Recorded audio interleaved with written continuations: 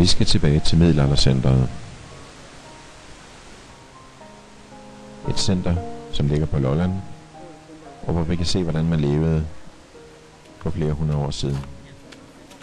Vi starter vores besøg hos Rebslageren. Her i huset levede Rebslageren sammen med sin familie. Meget spartansk. De havde deres hus bygget således, at svinestanden lå lige nedenunder, og dermed gav varmen op til dem. Men revslageren havde en fantastisk udsigt over til byen. Til købmandens hus og til alle de handels handlende derovre. Hans drenge måtte dreje i timevis på det store hjul for at dreje de lange, lange, lange reb.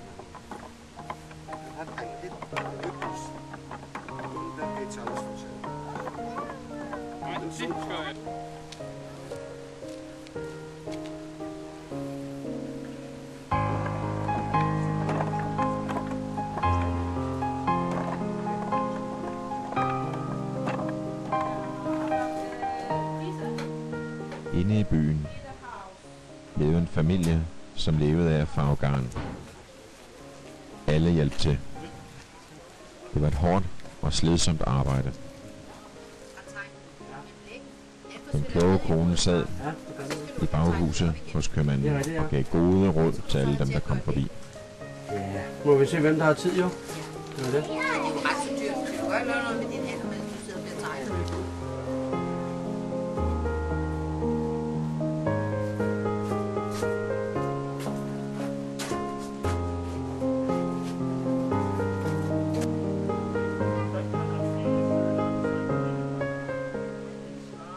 Købmanden havde sin handelsskibe liggende udenfor i havnen. Med dem sejlede han til fremmede byer og fremmede lande for at afsætte varerne, som han havde købt. Han var i den forstand en mægtig mand. Han levede godt i sin købmandsgård. Han havde sit eget ildsted i soveværelset, hvilket var helt unikt på den tid.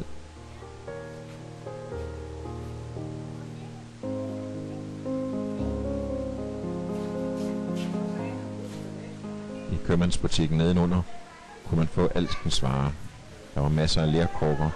Der var forskellige madvarer.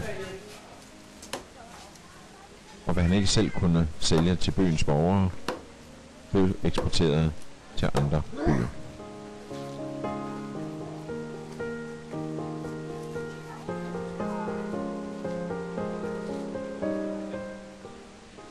Hos familien, som skulle farve garn, var livet hårdt. Det var et lille hus. Der var ikke den store luksus, som over hos købmanden på den anden side af gaden.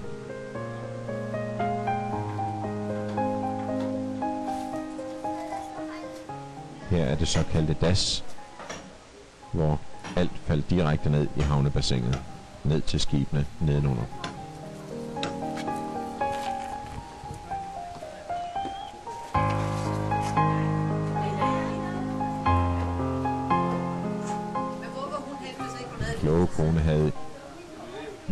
Med gode råd til byens borgere, og man besøgte hende tit. Oppe hos syrsken på første sal blev der både lavet mad og sødtøj.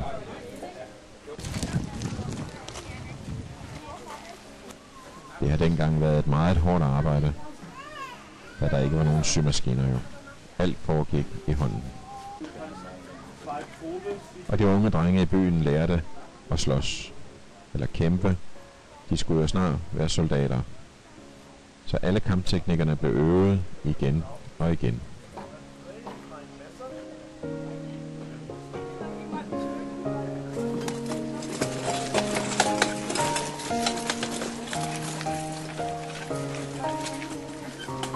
Men nu til noget helt andet. Lad os tage en tur ud og se på, hvordan man fører en blide af.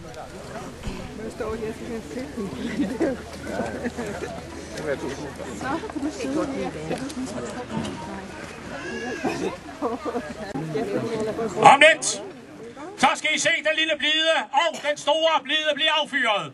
Den er en militær aktion, vil den også blive militært ledet, nemlig af mig. Og tillad mig at præsentere mig selv mit navn, det er Johan Reipur, og jeg er af Guds nåde vagtmester her i denne her by.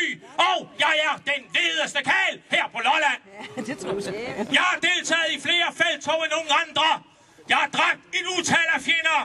Og jeg har været i lag med hundredvis af kvinder. Og jeg kan med stolthed sige, at ikke en eneste af dem var frivillig. Modvægtskasserne er knap nok halvt fyldt.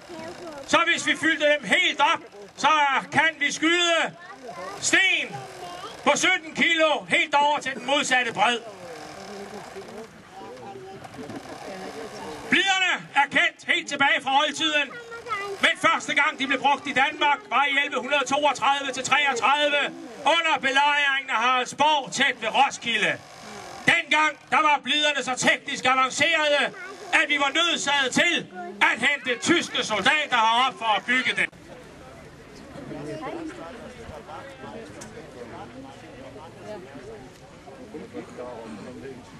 Der skal vi bruge nogle flere personer til at hive den ned. Frivilligheden, den sidder for enden af min finger.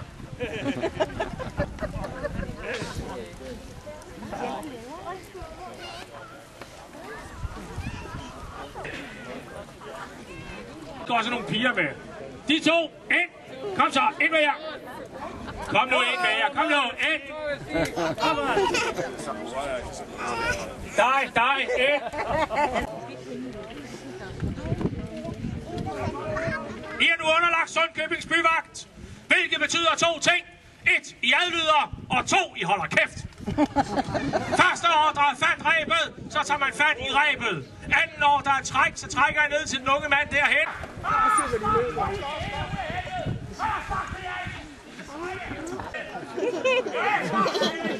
Han skælder.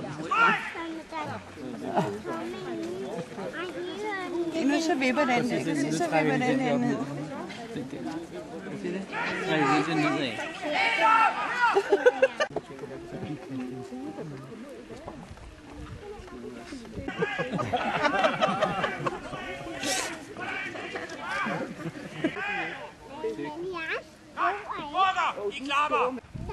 Vi laver også kugler af brændt ler, hvor I vi har indstøbt en masse skarpe flintesten.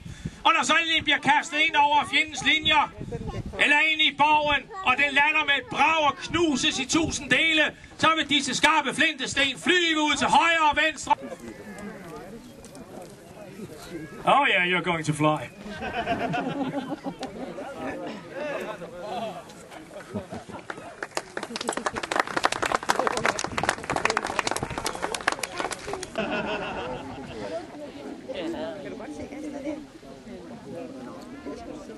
Nu skal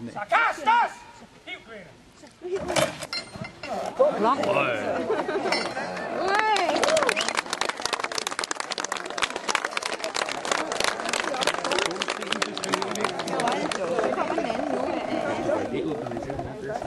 Hiv kvinder. Ja, så er det meget bedre, hvis det er uret sted. Så kan jeg holde dig her.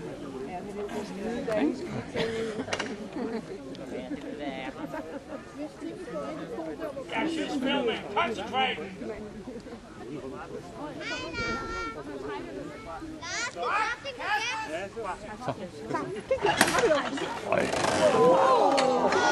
Se den derovre.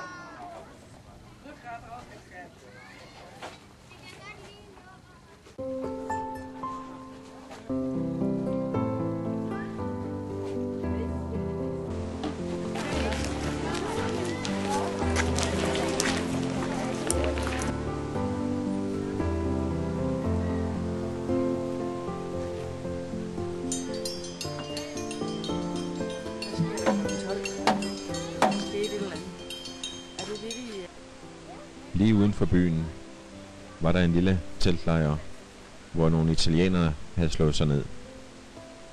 De var både håndværkere, soldater og arbejdede for byens borgere.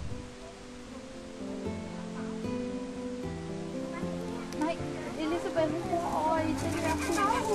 Ja, det kender jeg godt. Ja. Okay. Jeg tror, hun skal bruge rigtig mange.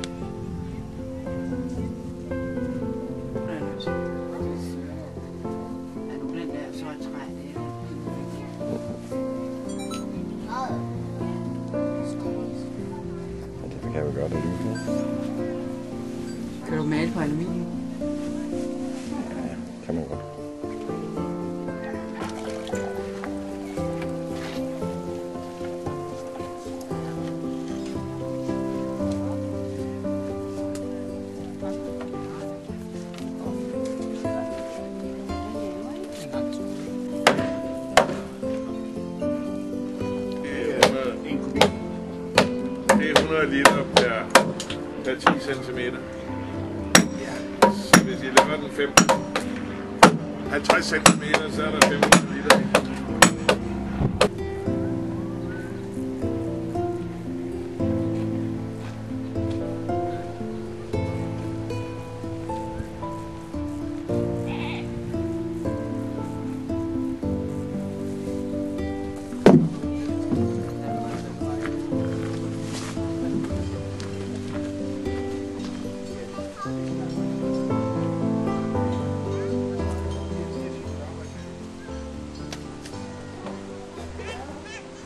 lidt uden for byen. Her var der arrangeret ringridning. Et meget, meget festligt skuespil med ryttere, med lanser og alt, hvad der til at høre.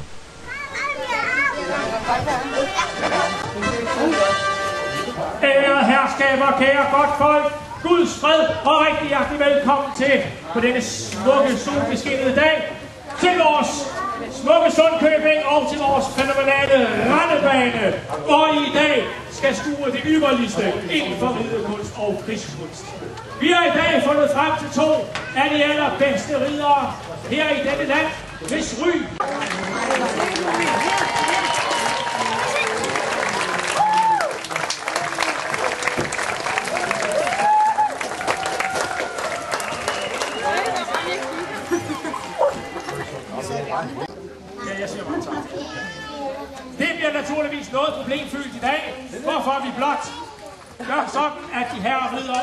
sig en kvinde. Det er en stor ære, at vi bliver udvalgt, og ved at man binder ridderens far. Det var faktisk et ganske flot stød, når man tænker på, at manden er til fods. Han var så til gengæld også ved at få en ordentlig bule i nakken, da denne sæk med sten var ved at ramme ham. Men et ganske flot stød.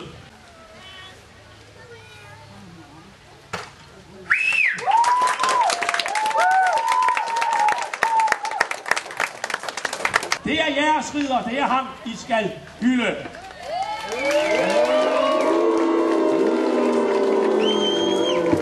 Her er fast. Der vold frem af Lauterbach, banen er jeres.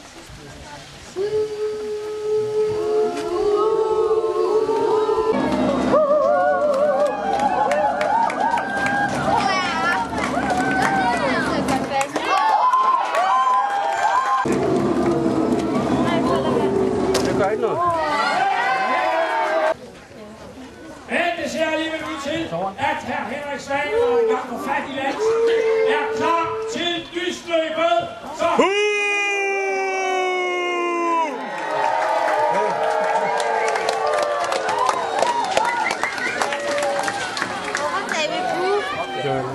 Han sagde du sluppet. Ja. de her ridder.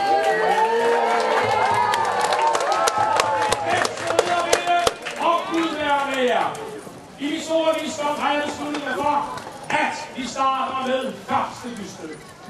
Uh!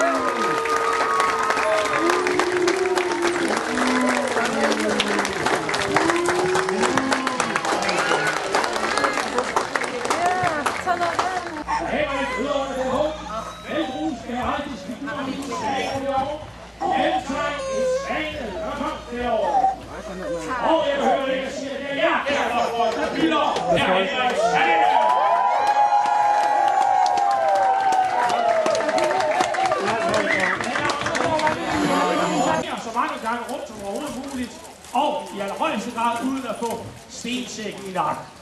Hvem ønsker at lægge for? Det gør herr Wolfram fra Lauterbach.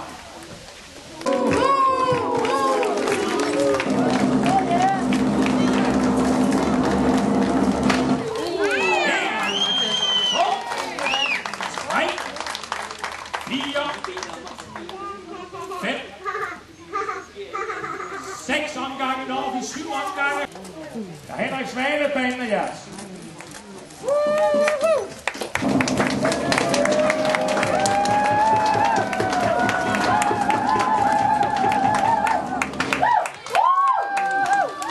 To omgange. Tre omgange. Fire. Det bliver tæt løb. Fem omgange. Det bliver ikke til syv, men kan vi nå den sjette? Vil det blive seks omgange? Seks omgange til. Og en lille dødstands fik vi til lige. Et smukt syn, et smukt gennemført løb. Glimrende udført af herr Henrik Svane. Herr Wolfram og Lauterbach, vi får en chance til.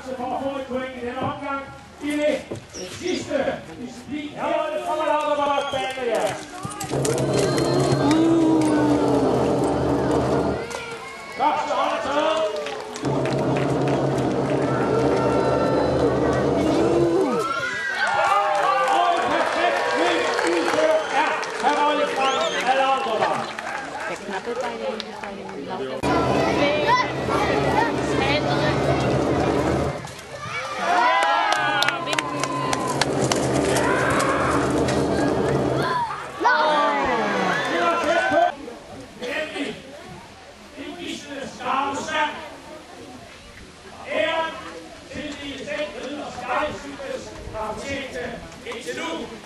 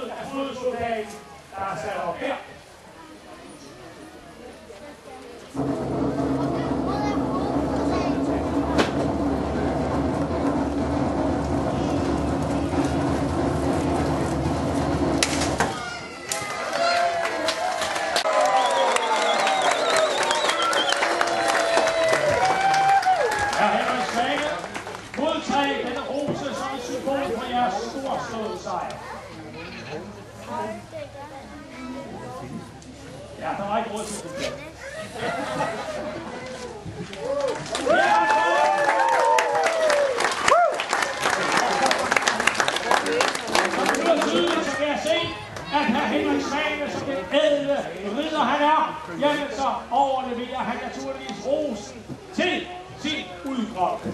Eller udkårne, hedder det.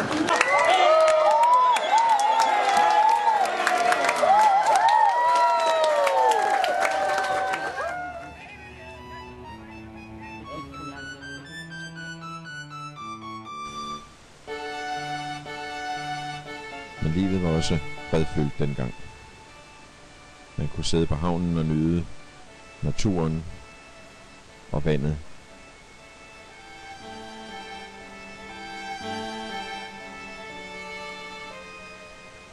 Eller man kunne som os gå en tur og nyde de små haver med de grøntsager og de urter, der var dengang. Her ser vi et hus, der er ved at blive lærklinet af de italienske arbejdere. Skovmagerens søn sad og arbejdede møjsomt med at pusse de nyslåede sko. Og ellers gik livet fredeligt til i den lille landsby.